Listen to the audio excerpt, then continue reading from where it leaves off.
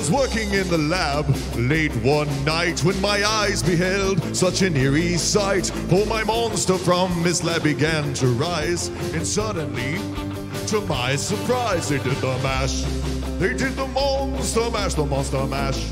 It was a graveyard smash, they played the mash. It caught on in a flash, they played the mash.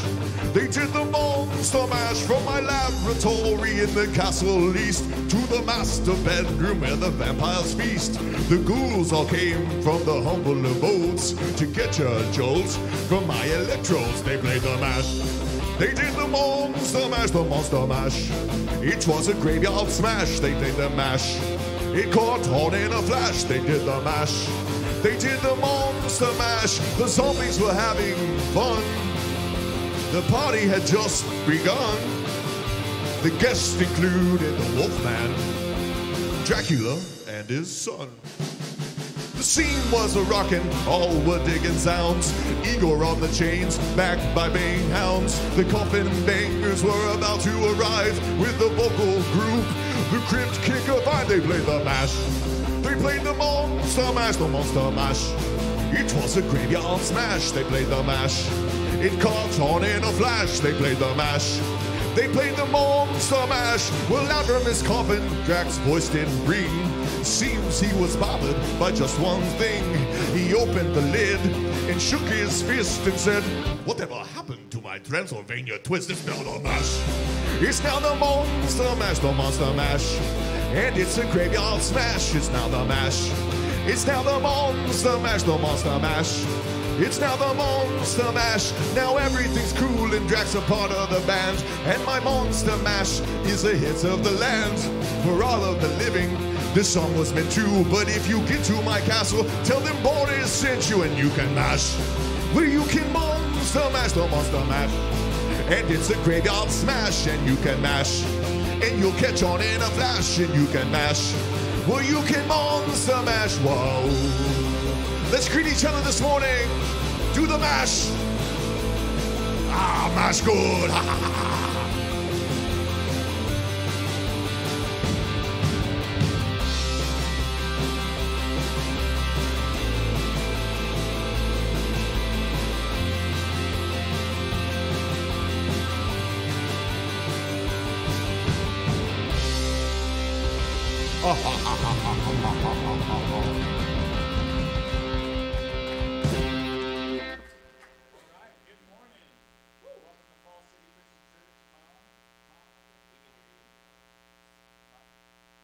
We did? Oh! That was awkward. Okay, um, I didn't know what to say after that. I was surprised myself, just as surprised as you guys were. Um, welcome to Falls City Christian Church. We are glad you're here. I just want to let you know that that song has nothing to do with Jesus.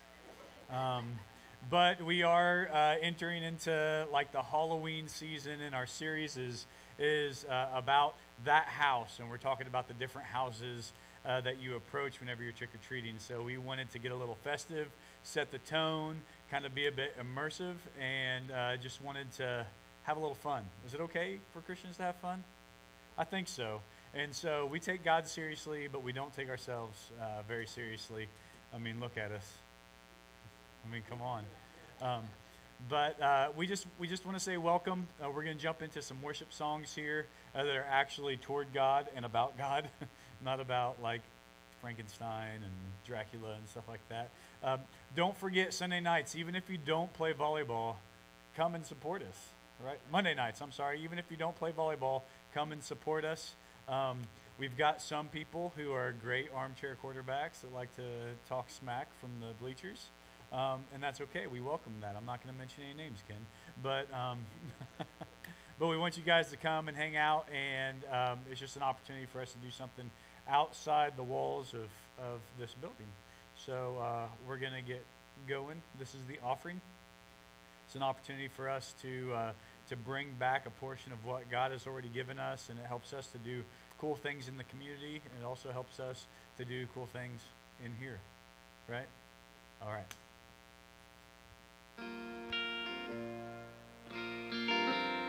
Let's sing to him. Lift his name. Yes, we will.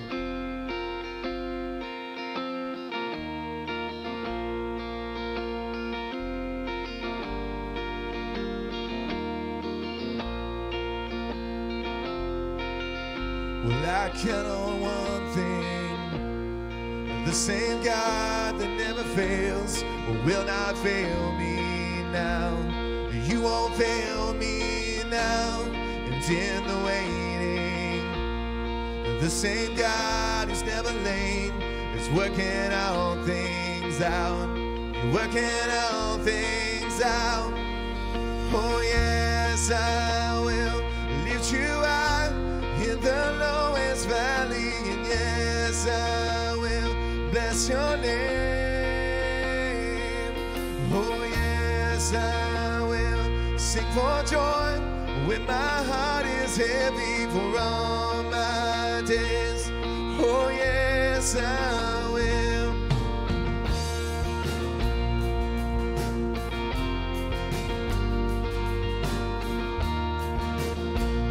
I count on one thing. Well, I count on one thing. The same God that never fails will not fail me now. And you won't fail me now. And in the waiting, the same God who's never late is working out things out. You're working out things out. Oh, yes, I will lift you up in the lowest valley.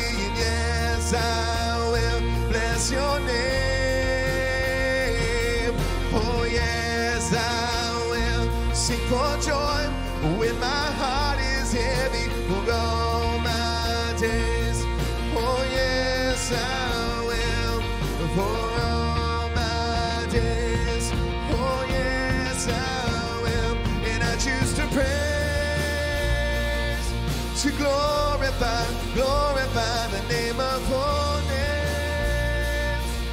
That nothing can stand against, and I choose to praise, to glorify, glorify the name of name. That nothing can stand against, and I choose to praise, to glorify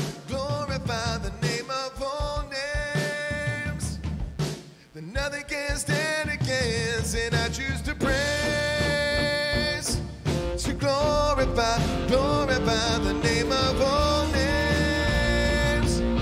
That nothing can stand against. Oh yes, I will lift you up in the lowest valley, and yes,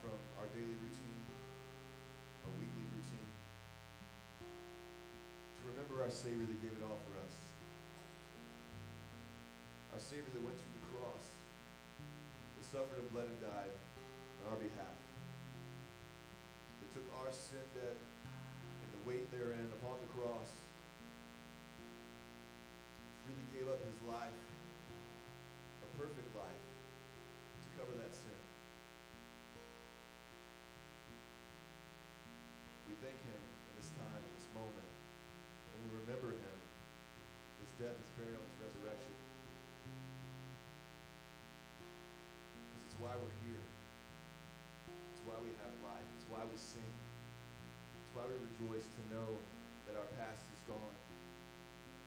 And that we can boldly come before the Father in confidence,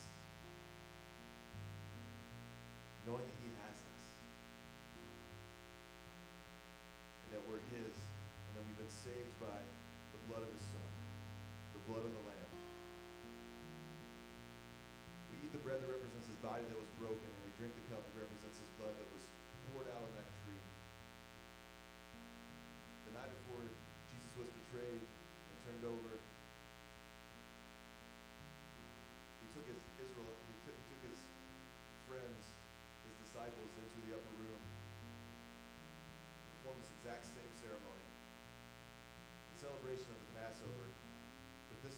so much more. It was the true representation of what the Passover was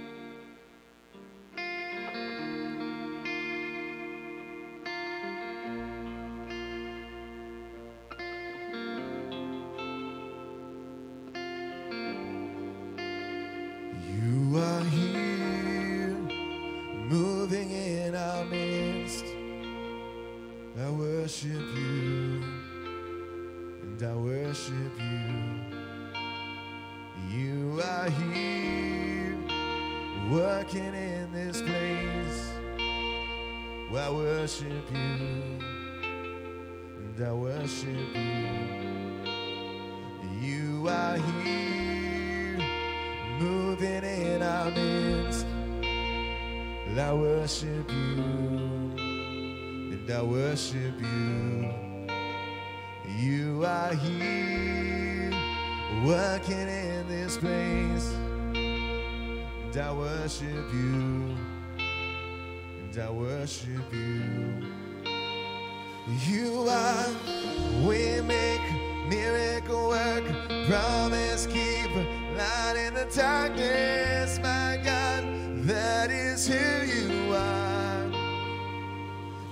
Are Waymaker miracle work, promise keeper, light in the darkness, my God. That is who you are.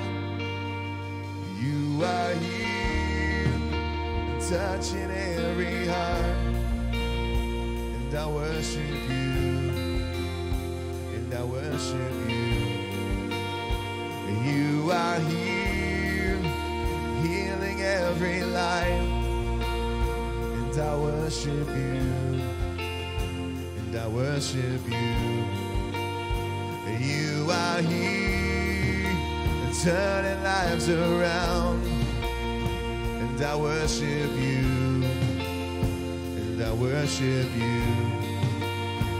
You are here, mending every heart. Well, I worship you, and I worship you. Waymaker, miracle worker, promise keeper, light in the darkness.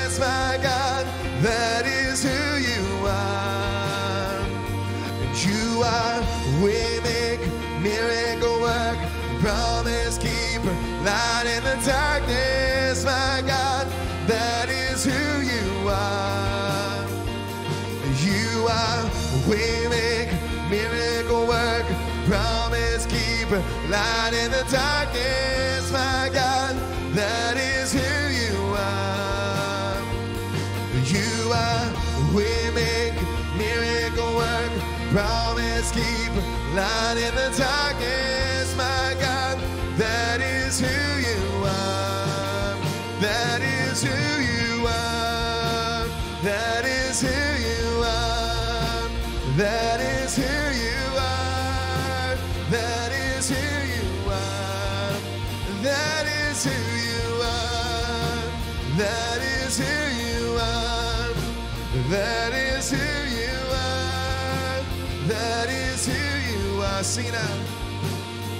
You are we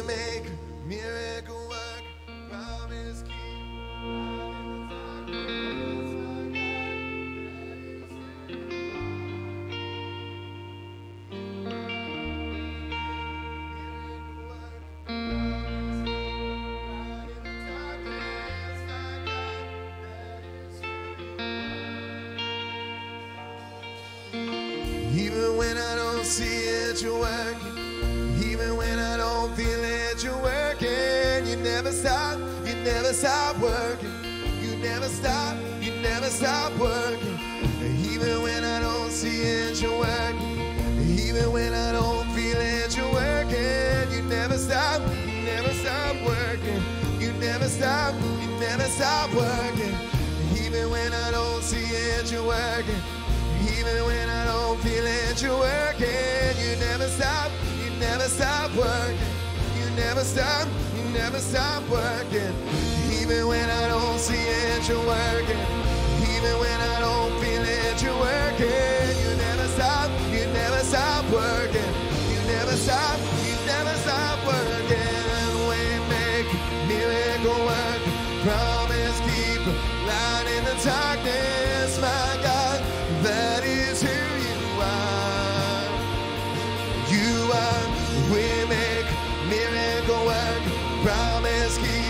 light in the darkness, my God.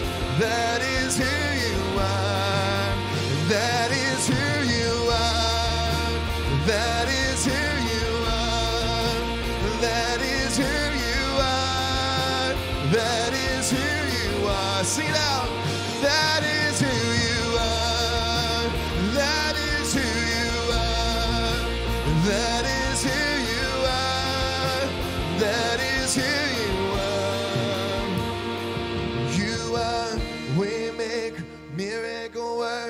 Promise keep light in the darkness, my God. That is who you are. You are, Waymaker miracle work. Promise keep light in the darkness, my God. That is who you are. God, that is who you are.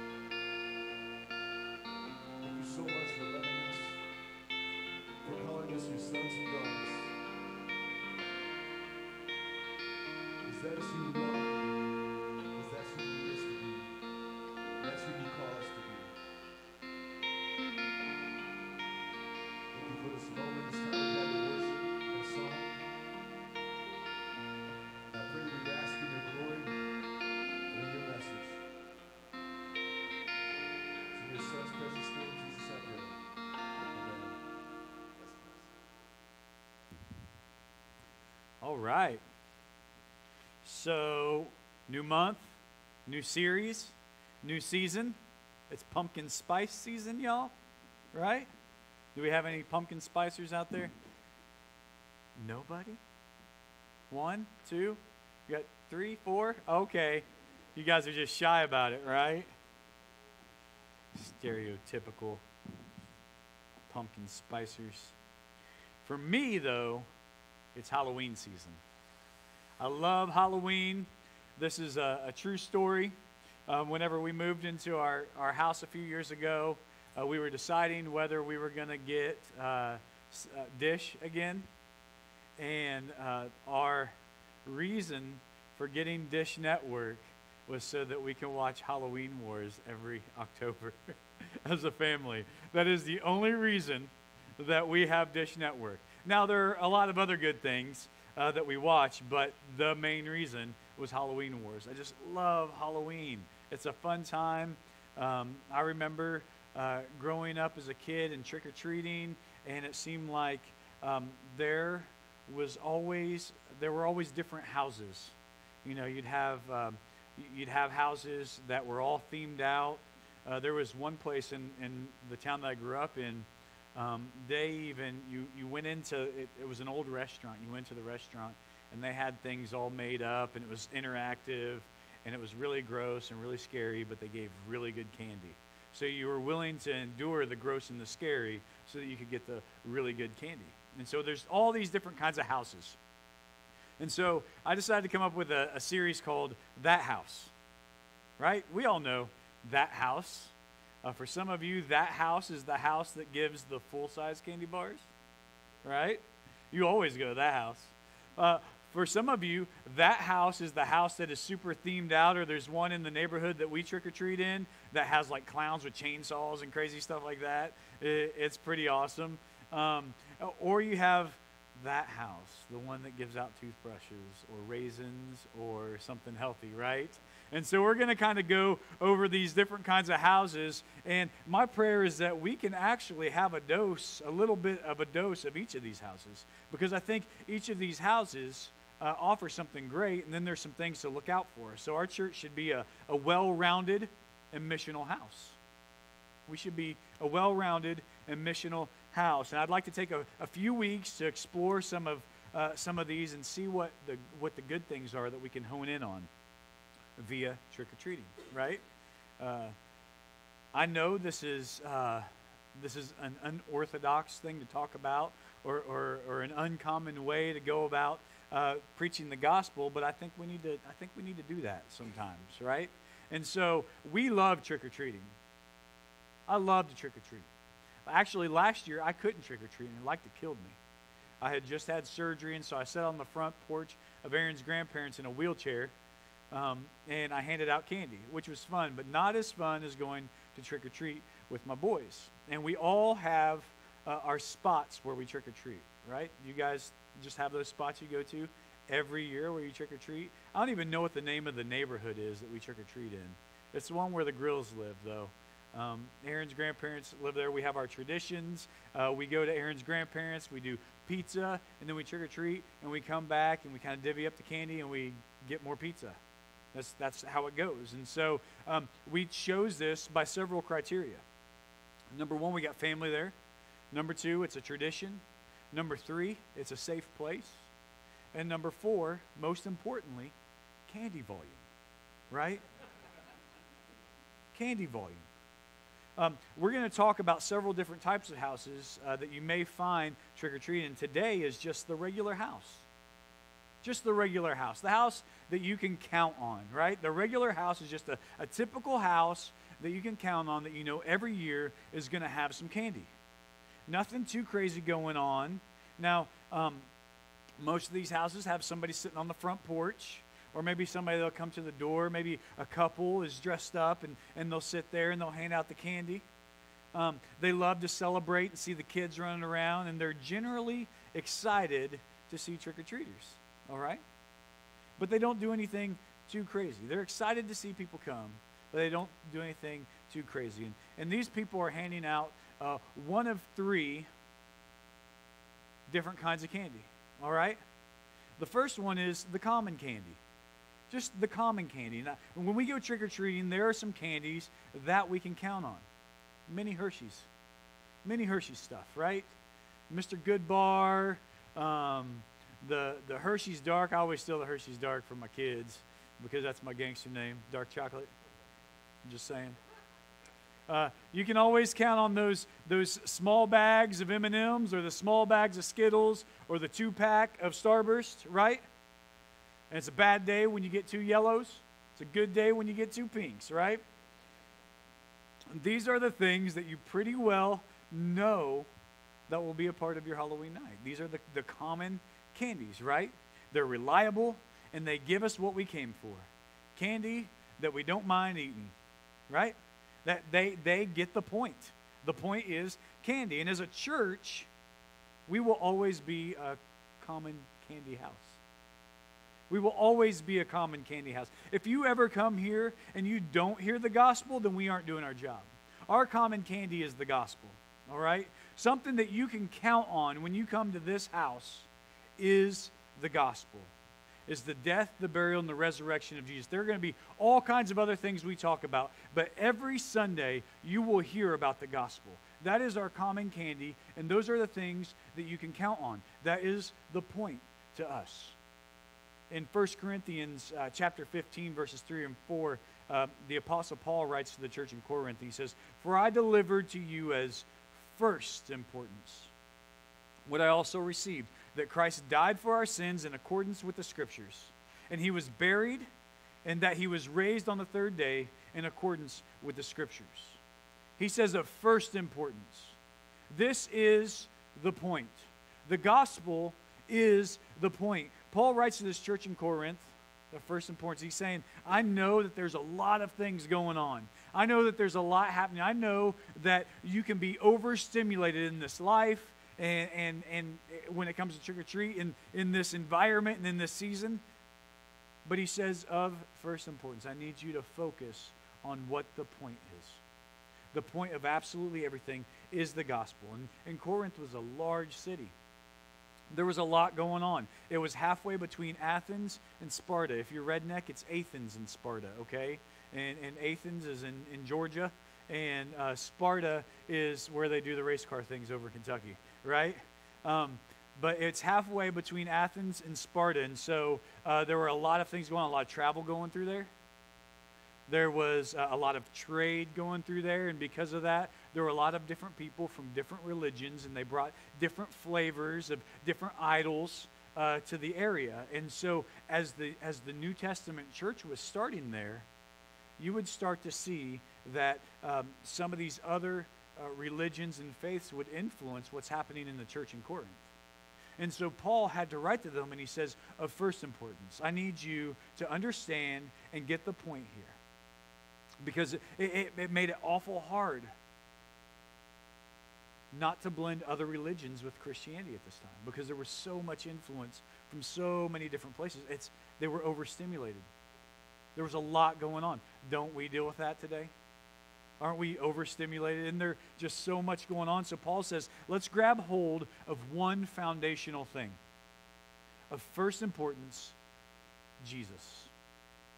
Jesus is our common candy. That's the one thing that you can come and you can count on every time you come to Falls City Christian Church. Every time you come here, you will hear the gospel. He lays the gospel out as the foundation for everything. Essentially, this is the porch light of the church, right? I don't let my kids trick or treat at houses that don't have their porch light on, right? Because if their porch light ain't on, I don't think they're interested, right? And so we're interested. And so our porch light, what we shine is going to be the gospel. What we're peddling is going to be Jesus. Our foundation is going to be the death, the burial, and the resurrection of Christ. And let me tell you something I do not let my kids trick or treat at houses that don't have their porch light on. I do not let my kids go to places that aren't giving common candy out. Right? if they don't have the intention of, of, of bringing in the trick or treaters and having that experience, they don't, they don't go. They don't go. We don't need the, the creepy house without the, without the porch light on. As far as, I, as far as I'm concerned, those people are sketchy. Sketchy people. Another kind of candy that you get whenever you go trick or treating is old school candy. You know what I'm talking about with old school candy? Because I want to dive a little deeper on this. You get into the houses that have the old school candy stuff like those black and orange peanut butter thingies, right? You know what I'm talking about? The stuff that'll that'll pull the fillings out of your teeth, yeah. Or Charleston chews, yeah, or Cow Tales or whatever. Uh, dum dum suckers, lollipops with the little loop thingy, the safety pop things, yeah. Candy corn. You get the little bags of candy corn, or bazooka bubblegum, yeah. That's old school candy. You got some people that just give old school candy. And let's be honest here these are the candies that sit in the bowl for a while, right? Sometimes they make it to Thanksgiving. Sometimes these candies make it all the way to Thanksgiving. Or if you got a sweet tooth and there ain't nothing else in the house, then you go and you get one of those peanut butter things. Or you go get you a dum dum, or you you chew on some bazooka, which doesn't pull the fillings out, but it may break your teeth off on the first chomp, right? Um, uh, and, and, and I want to be I want to be completely transparent with y'all here. I appreciate old school candy. I like old school candy. As a matter of fact, I like the peanut butter thingies. And I like candy corn. You can hate on me all you want. I like candy corn. Some M&Ms and some peanuts all rattled up in there. It's basically manly pumpkin spice at that point, right? That's what it is. I know. That's why you need the candy corn, peanuts, and the M&Ms. Some nails and beef jerky. Duct tape. All right. I, I, like candy corn. Um, so why do you think we always end up with these? Like, why do you think every time we go trick or treating, you, are not going to go trick or treating and not get the peanut butter thingies? You're not going to go trick or treating and not get some candy corn. You're not going to not get dum dum suckers, right? Why do you think we always get old school candy? Is it tradition, maybe? Is it nostalgia? I don't know. I'm not sure. I don't I don't I don't know, but my kids leave it for me to eat, right? I, I, don't get me wrong. I think it's important that my kids try this candy, but I believe there is, there is value in this candy. I believe that it represents a time when things were a bit safer, right? It represents a time when the kids can run around and, and go, go trick or treating without the parents worrying themselves to death. I believe that there's a bit of nostalgia and I believe there's a bit of tradition that comes with this, this old school candy. But I also believe that if it were all old school candy that we got, trick or treating would still be fun, but the candy wouldn't be eaten, right? You still go trick or treating, but you'd be better off being like Charlie Brown, getting some rocks in your pillowcase, right? Now, it would end up going to waste. It would end up going into the garbage because tradition and nostalgia should never be the point. It has value. I like it. I appreciate it. I enjoy it, even. But tradition is not the point. Old school is not the point. I want you to check this out. Jesus is talking to the Pharisees here in Mark chapter 7. He says, Now, when the Pharisees gathered to him uh, with some of the scribes who had come from Jerusalem, they saw that some of his disciples ate with, um, ate with hands that were defiled, that is, unwashed. For the Pharisees and all the Jews do not eat unless they wash their hands properly, holding to the tradition of the elders. And when they came from the marketplace, they do not eat unless they wash. And there are many other traditions that they observe, such as washing of cups and pots and copper vessels uh, and, and dining couches. What's a dining couch? I think I like that. I want a dining couch. Is Aaron in here? Think IKEA makes a dining couch? I'll cuss a lot when I'm putting it together, but I'll enjoy it when I'm eating, okay? Uh, and the Pharisees and the scribes asked him, uh, Why do your disciples not walk according to the tradition of the elders, but eat with defiled hands?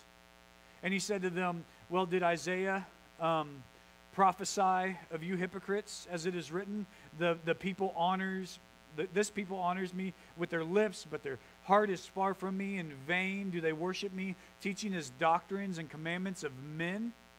You leave the commandment of God and hold to the tradition of men. Let me tell you something. There ain't nothing wrong. As a matter of fact, I prefer to wash my hands before I eat. There's nothing wrong with doing the dishes or even wiping down the dining couch every once in a while. Okay? I, there's not a problem with that. But the, but the problem is that became the point to these guys. Their tradition became the point, and now all of a sudden the gospel and who God is and everything He's done and everything that we're supposed to be is not the point anymore. It is, did you do what the tradition says you need to do? The Pharisees have an issue with the way the disciples roll. They're hanging on tra- to tradition. You want to know why? Because it gives them power. Because it allows them to leverage their position in order to stay in the spot that they want to stay in. And we do that too. I think in the United States, a, a, lot of times it has to do with safety. We love tradition because it seems like it brings us back to times when it was safer. So they leverage tradition because of power. We kind of leverage it because of safety because we're afraid of so much. And don't get me wrong, there's stuff to be afraid of. But we can't be so afraid of everything that we throw out the conquering power of the gospel. Right? Jesus says, wait a minute, you're missing the point. You've, you've adopted these traditions of men over the commandment of God. It's not bad until it becomes the point. It's not bad until it overshadows the gospel, right? Because nothing overshadows the gospel. Nothing should. We should never allow it to, but in the end, nothing ever will anyway. So even if you allow your fear or your power or whatever it is to overshadow the gospel, in the end, you lose. Right? You lose. And I will enjoy uh, some, some candy corn, but I'm not going to make my kids eat it if they don't want it. It's more for me, right? I'm going to enjoy some candy corn, some of those peanut butter thingies, but as a principle, I'm not going to force it on other people. I'm not going to say, there's no such thing as Halloween without candy corn. Some of y'all might wish that. Just like there's no such thing as fall without flannels and boots and vests and somebody, some sorority girl holding a pumpkin spice mocha, right? Right? It's just, uh, th- there's no way. I value old school candy. I value tradition. I value nostalgia. Heck, I even like some of it. I went uh, to, to hear my brother preach a couple weeks ago at the church I grew up at. All hymns, it's super, it's super traditional, and um, it was a bit of a breath of fresh air for me. I can't believe I'm admitting this because I like the way I like the way we rock up here. Um, but it was it, it, was a situation where I could sit and just kind of take it in, and, and I hadn't sang a, a whole lot of hymns in a while, and they came back to me, and I actually remembered them, and it was it was kind of a, a good thing. But see, my goal isn't to convert people to old school candy. My goal isn't to convert people to tradition. My goal isn't to constantly bring up the nostalgia. My goal is to bring the gospel, right? My goal is to introduce them to Jesus. You will see traditional aspects of our church service. Dang, last week we had a pitch in dinner. That's pretty old school, right? I mean, whenever there's casseroles and four different shades of macaroni and cheese, you know you're rocking it uh, traditionally, right?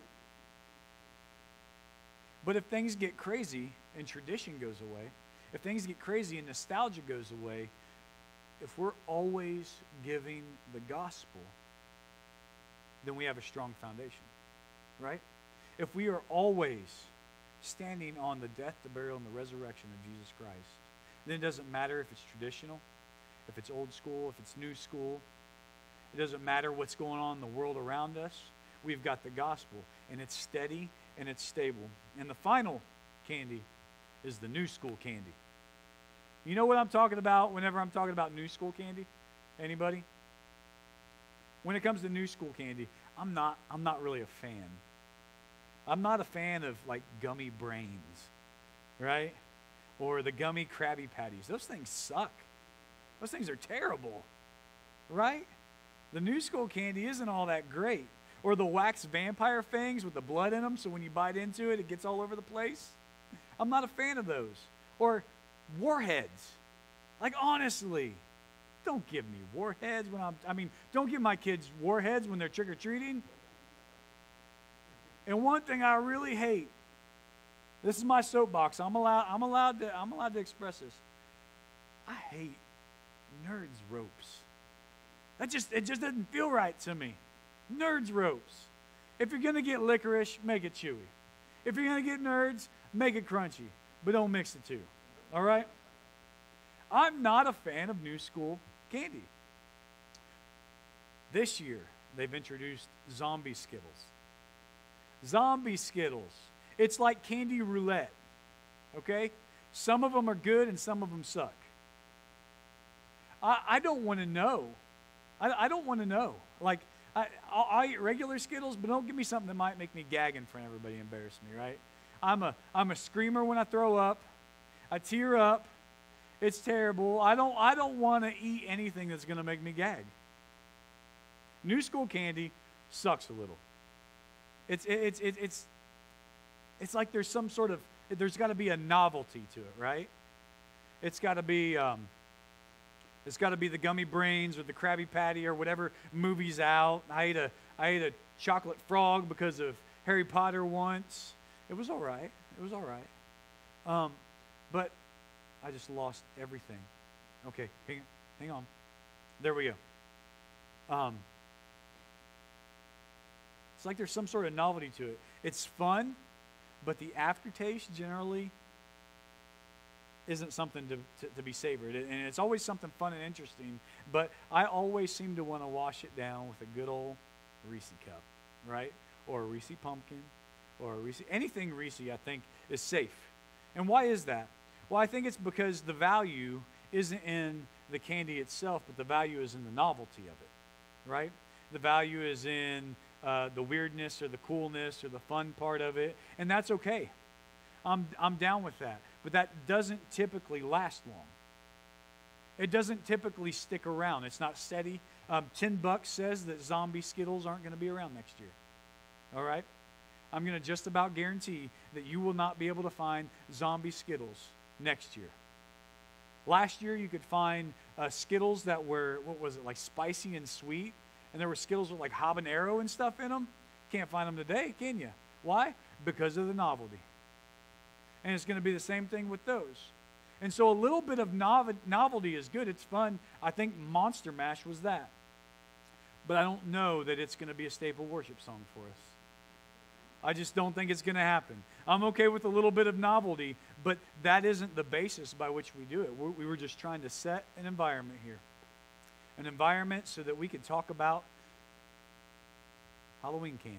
No, I'm just kidding. So that we could talk about Jesus right? And a, a little bit of novelty is good, but just like tradition, it cannot be the point.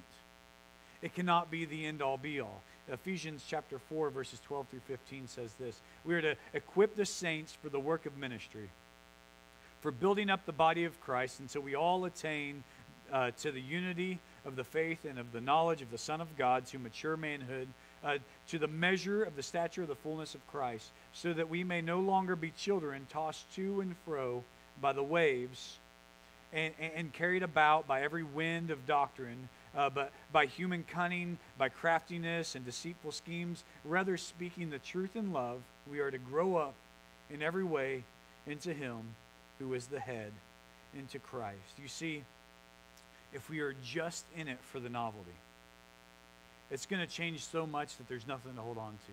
It's like the wind, it's to and fro, right?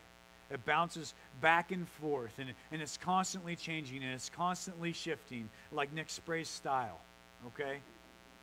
One minute he's got skinny jeans, the next minute he's got full on camo that's baggy and rolled up almost to his knees, right? The next minute he looks like Joe Pesci from Home Alone with his little with his little black hat on, right? I love it. I appreciate it. You make us cooler because you're here, Nick. I love you.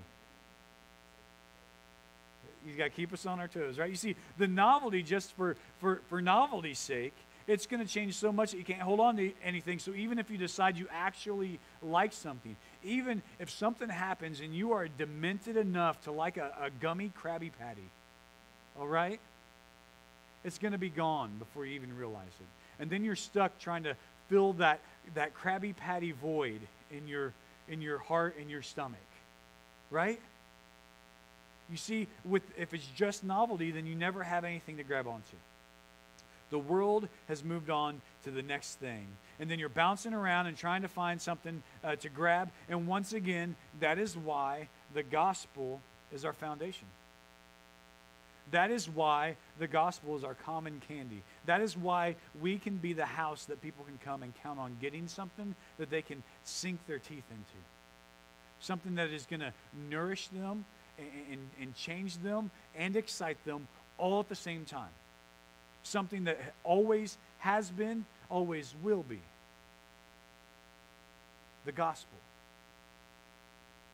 The fact that Jesus came, was buried, beat sin and hell and death and resurrected. That is what we are handing out. Now, I, I'm okay with a little bit of novelty. All right? We'll try new things. We'll have some fun. We will indulge in a little bit of novelty, but never, never, ever at the expense of the gospel.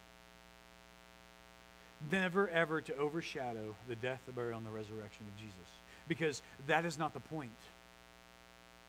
Novelty, tradition is not the point. The gospel is the point. I, I want to make sure I get that through, through our heads here.